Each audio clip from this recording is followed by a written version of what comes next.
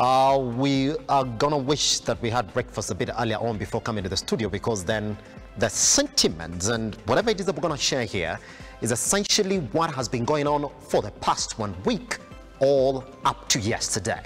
So this is the update currently as it is. Now that particular document then is going to go back to the National House for deliberation and readjustment before it is tabled for debate and passing. Now, as we wait for the National House business to resume on the 6th of um, next month, which is starting tomorrow, we do know that um, the Azimio Coalition and a couple of uh, civil service unions within the country have made themselves clear on what they think about the Finance Bill 2023. And this is what they say. Now, there's Azimio Coalition is telling Kenyans that indeed the Kenya Kwanza government has to reject the Finance Bill in totality, completely every proposal, according to the Azimio Coalition, in this finance bill doesn't make sense. It's going to make life harder for majority of Kenyans. I'm going to look at those contentious uh, clauses within um, the finance bill that essentially have rattled Kenyans. Number two, they've already um, said that the finance bill, as presently crafted, must be withdrawn and replaced by a bill that appreciates Kenyans suffering. So according to the Azimio Coalition, this one doesn't appreciate Kenyan suffering. All right? And just because of that, then, all the bipartisan talks have been suspended until those conditions they are calling in this particular um, bill are met. Good. Let's do it like this then. Let's start officially. We are online on Lookup TV across all your social media platforms. I am at Kiage Simba and our studio is filling up and it's going to be full to the brim shortly then with Kenyans who are going to tell us exactly what they think about the finance bill. Since this is Bunge la Wananchi. It would not be correct for me to make the introductions of the guests that we have in the studio. I'm just going to take a minute, introduce the guests that we have in the studio, then tell us quickly about what it is that they think about the finance bill, then come and table conversations around those particular clauses. All right, I'm going to start on my right. Quickly introduce yourself, your position, and quick sentiments about what you think about the finance bill generally, because we're going to start the debate once we're done with the introductions. Uh, my name is Joseph Wanjiro, good governance advocate. Uh, for me, I'm an accountant by profession. Uh, on the finance bill, uh, for me, uh, I support it, uh, but the only with caution. I support it with caution. Yes. Why do I say caution? Yes. Because uh, the fuel uh, product gonna raise by 8% from the current 8% uh, VAT Yes. 16%. Yes. So that's where the cost of living gonna adjust a little bit higher. Yes. But on the other things about the finance bill are strictly and good for the country to move on. Thank you very much. Uh, Joseph, pass over the mic. Kindly introduce yourself. Quick sentiments about what you think about the finance bill. I'm Joseph Kimani. Well, we have two Josephs in the studio today. Yes. I'm Joseph Kimani. Yes. AKA Kenya wa Kenya. Uh, on finance bill, I say, or I don't support finance bill 100%. Yes. Like 40%, it is Or uh, move the mic closer to you. it is a burden to the to wananchi. It is Yes. a burden to Wanjiku. Yes. Because I have gone through the finance bill and I have seen some uh, some of the added added tax to Yes. the mwananchi, Yes. which will be a heavy burden to the mwananchi. And this is, this government was a hustlers government, That's and now right now it is not a hustlers government. mm -hmm. They are uh, exempting the taxes from the higher earning people and bringing down to those they call them mamaboga and watu wa boda boda. Pretty much, Mr. Kimani, will be coming back to you so that we can start tabling that conversation. Good. Um, Walker, unajua wewe umekuwa mwenyeji wa mwenyeji. Wow. Mwenyeji wa bunge la wananchi. Walker, kindly introduce yourself. Give me quick sentiments about what you think about the finance bill because I'll be coming to you. Thank you so much, Yes. Simba. Good mm-hmm. morning, and it is a pleasure to be here. I'm Jim Walker Peter, the president of Africa International University. On financial bill, I would say I'm not here to critique it or but give an input because I feel there's still some gaps, Yes. and we are going to talk about it. So Yes. I, I feel it is a it is a wrong timing mm-hmm. To uh, and a wrong timing for implementation. So we are going to talk about it and uh, really discuss about it. You'll be seeing the gaps in this kind of bill. Pretty much. All right, let Thank me you. pass over the mic to Shiko. How are you doing? Good morning. I'm good. Yes, I'm Shiko Walwaka na mi ni mama boga. that's it. So I'm supporting the finance bill na cause if we don't pay taxes kwa sababu nyingi zimekuwa shida juu ya taxes uh, our country will be not in good hands. That's it. Yeah. Pretty much. Ikunda kuja kwako by the way. Kuna vitu zingine hapo za mama mboga zenye zinaenda kukuumiza kidogo hapo and I would like to hear what Joseph says because indeed, yes, part of what we're going to do today, by the way, as an accountant as well, just to make it clear to them exactly what these taxes mean and what a fund means in the Finance Bill 2023. Good. All right, finally, Good morning. I'm Peter Kariuki, youth aspirant Roy Ward. Uh, for me, I don't support the financial bill 100% because it has a lot of gaps Yes. that is not addressing the common mwananchi. Yes. Because when the Kenya Kwanza government was coming in power, it was promising Mama Mboga, the hustler, that they were going to treat them well. yes. So for now, this financial bill is all about unemployment and the employment one. Yes. Because if you if you see what they were talking about, the three percent tax on housing. Yes. That one is not supporting any Kenyan, especially a a mid, middle class. Yes. It is completely inawafinyilia chini. That's Thank you. Pretty much. I want you to hold on to the mic because that's when we start now. I want you to pass over the mic to Joseph. Good. Now, Joseph, I'm, I'm going to read for you the first one that has been quite contentious. And you say that the only issue that you have with the Finance Bill 2023 for you, from where you're standing, is that now uh, fuel, uh, petroleum products in the country are going to attract a total of 16% VAT. And I'm going to come to you on that as well. But let's start with the first one that has got majority of Kenyans rattled. And they're asking this question then. The 3% housing fund, and they're not calling it a tax, it's a housing fund. That's what, the, that's what the government is calling it, that the employers are also going too much, The 3% from the employer side. So you put it at 6%. And they're saying that this essentially would, number one, create jobs for the unemployed youth within the economy and also see to the improvement of the housing standards within the country, which they say are deplorable. Now, Joseph, let's begin from this particular point. This week starts on Sunday. Opio Undai, uh, sorry, Okiya Omtatah, sorry. By the way, who was here again yesterday speaking about the issue, said, I challenged this particular one in the courts when Uhuru Kenyatta and one William Ruto proposed it. The courts listened to me. They made this a voluntary contribution. Currently, according to CS Kuria, we have 30,000 Kenyans only on the voluntary program. Let's begin like this. They're not calling it a fund, but they're not calling it a tax, but then they're saying they're going to pass it and make it mandatory. Is that not a tax? From an accounting perspective, Joseph, is this not a tax? I will tell you this. Uh, the moment that you are enrolled, for example, in a circle, Yes, and when you do a mandatory deductions from your salary, yes, and you save to the circle that Yes. you are affiliated to according to your employer. Yes. Like if it is for TSC, they got their own circle, That's it. which is SACCO. Mm-hmm.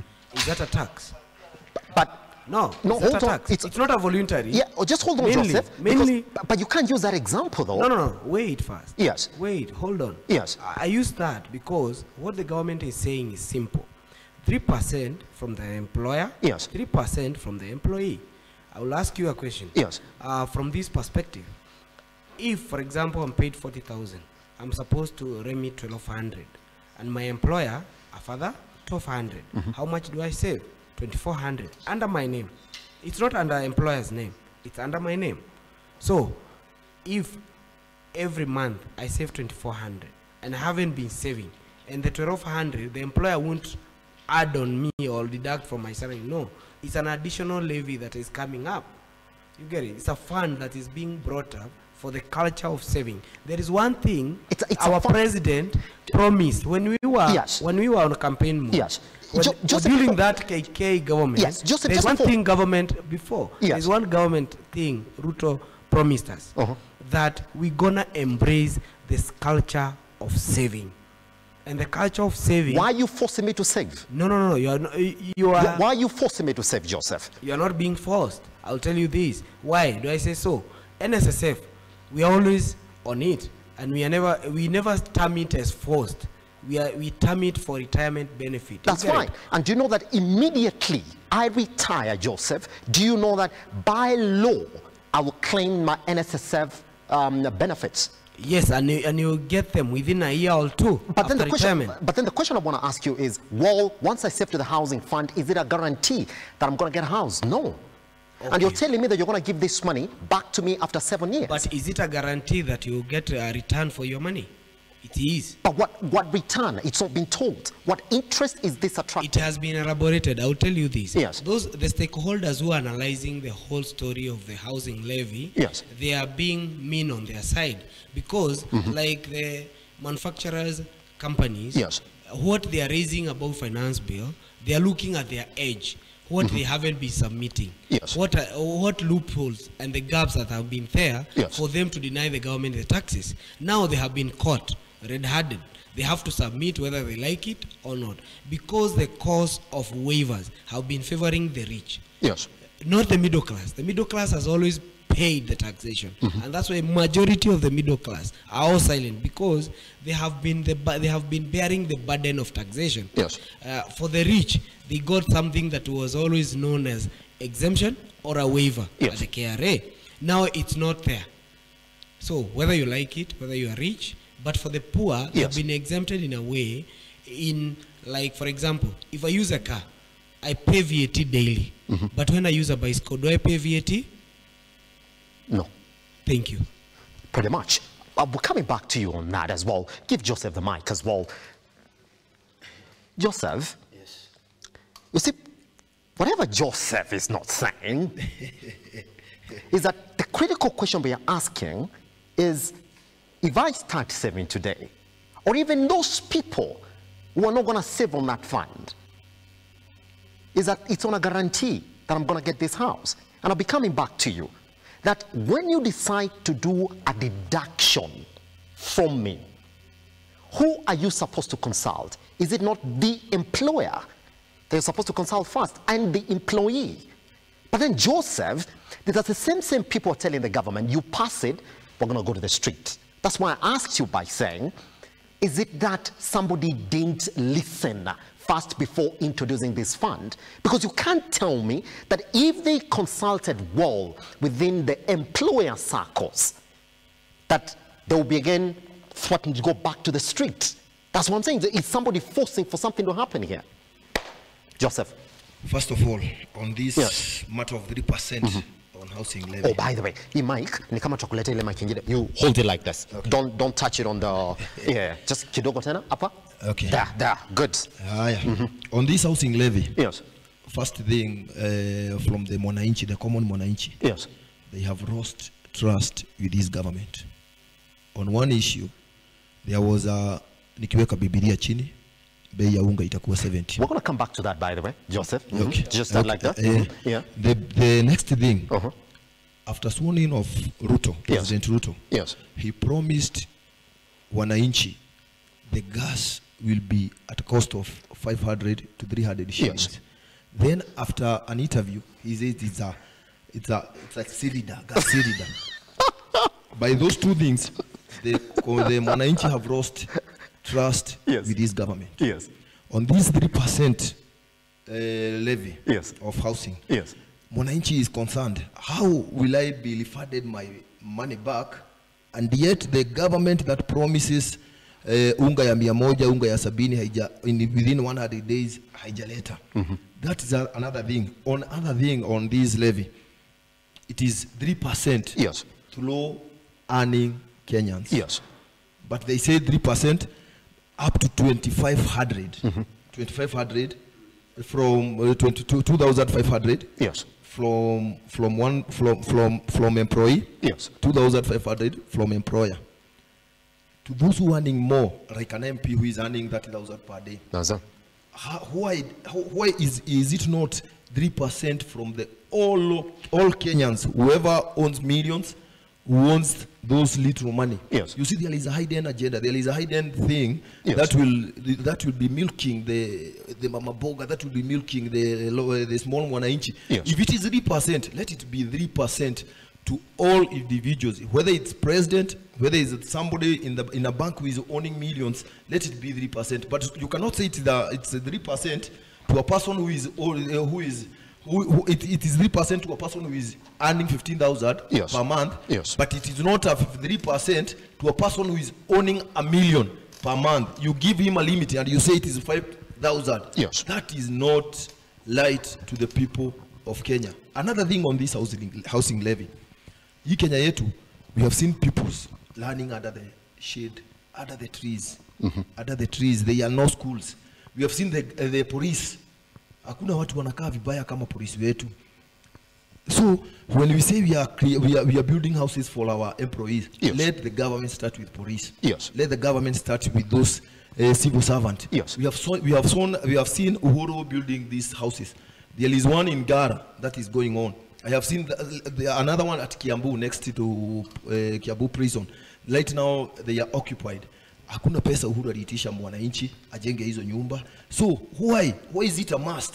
This 3%. Why, why, how can you trust this 3%? How can you trust the, the refunding of your of your 3% after seven years? So That for you, trust we so, so for you Joseph, trust. your issue is trust. Trust. Just on the failure of delivery of the promises that they came into government with. Yes. Fantastic. Yeah. Nataka, nataka kushikia hapo. Joseph, ndarudi kwako, ndarudi kwako by the way.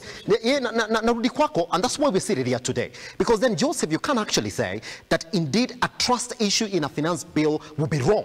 I mean, it is me who's going to pay that money. You can't say that it will be a misconception. Just hold on to that, Joseph. Um, let me let me cross over to to you right there. You see, the issue here that um, Mr. Kimani is raising is just the trust issue. That you have a government that is telling you, lipa hii 3% um, housing fund, tutakupatia nyumba. Lakini in the case that atakupatia nyumba, kuja after miaka saba, utachukua pesa yako. That that's the issue now, where we're not trusting this government. Do you tr- let me first start like that. Do you trust this government going by the seven months they've been in office in terms of what they promised they're going to deliver within the first 100 days? No, I can't because they have never, they have not delivered what they promised common mwananchi. Because Ruto, President Ruto, mm-hmm. he promised, he promised the hustlers Yes. that in the first hundred days, the bei ya unga will go down to 100 shillings. But for now, people are suffering. The bay of unga is now is 250, almost there. But how can you introduce now this financial bill to Kenyans when they are suffering? Yes. It is a burden to every Kenyan. Because for, for example, the, currently about the 3% tax to housing, uh, from the housing levy, this, this person who is going to retire, let's say from next year, how will he benefit there? Because, for example, I'm retiring this year. That 3%, where will it, where will it go? Joseph. Joseph, take the mic. I'm going to retire next year. And you're telling me to pay, and you're paying me, you're telling me to pay 3%. I'm ready for Joseph. any question. Yeah? I'm ready. Go, jump right in. One thing I'll tell you, the trust issue is Joseph, begin, begin on, begin on this one. Uh-huh. Somebody's retiring next year. You're passing this bill now. You're telling them it's a must they contribute the 3%, but this money comes seven years later. I'll give it to you. Okay, I'll start with one thing. eh? Yes. The three percent. Uh, there is something we call in in accounting. eh? Yes. Higher or whichever is higher. That's it. You get it. Uh-huh. So from what Joseph said. Yes. It's a three percent, or, or the word or. That's where the issue and misconception are coming Yes. through. Because the prayers who are advocating for this, they are looking for their gains or their pains. They're not looking for what the common mwananchi would get. Like for example, Mama Mboga is not employed. True? True. Is she contributing for 3%? She's not levy? contributing. She's not. But is is she there an employer who is contributing 3% for her? No. No. But is she a, beneficiary of that housing housing fund? But is it, Yes. is it definite that she's going to be a beneficiary? Yes. In this sense. Yes. One, his son or their daughters will be employed on these sites. Yes. That are that for those housing. Who said that this housing would hou- won't house the police? Who said this housing uh, being built won't house those people that they are being claimed that they have been neglected in terms of housing? Yes. Who said so? We should read the whole thing. Let us not argue more about the 3%. Let us argue below 3%. What next comes in? The same way you said that akiweka Biblia chini, unga itashuka. I'll tell you, it went down. When Uhuru was vacating the office, most of our ungas were selling at 247, Look, look, 300 look, look at the shillings. reaction of the I'll gentleman. truth. Look at the reaction of the gentleman in front of let you. Yes, The yes, problem Joseph. with Kenyans, Yes. We always misconcept. Yes. And we don't argue with fact. Yes. I'll argue with the fact. Yes. Go to Get, the get your get your mic closer. Yes, go to your Google. Go to your Google. Yes. When Uhuru vacated office, September 2022, Unga was selling between 232 and 296. Peter, That how is much it. is Unga From right the now? premium flag. How- how much no, is Unga wait right now? first. From Just- the just premium right, for the sake of the conversation, for the sake of the conversation, yes. Currently, Unga is, is being selling Yes. from 166 shillings Yes. to 247 shillings for the premium. Ge- gentlemen, that is the truth. gentlemen, we can go to ge- supermarket and, and, and pretty much, gentlemen, gentlemen. Once we come back, then I'm gonna start this with also speaking to Shiko, by the way, as we pick up on these issues, and I want you to confirm the prices of unga, the prices of sugar, the prices of the prices of oil in the market right now. So we come back, you see, they're all disagreeing. They're saying, well, we do not agree with you because the current prices. That's it. Guess what? Even Shiko is here. She's going to confirm on that issue, by the way. Guess what? Once we come back, then Shiko said she supports the finance bill 2023. But let me tell you exactly where she's going to hit. Majority of people right now in the economy via mobile money. So the thing is, any transaction that we're going to do as from 1st of July is going to attract a 20% VAT. Now means it's going to cost more to even transact. Is that not a pain point for her? But again, once we come back, what is this that she's supporting in the Finance Bill 2023? Once we come back right here on uh, Look Up TV, this is the morning drift. We are in it, and we're here to say for the next one hour, 30 minutes. So join us online. Good morning.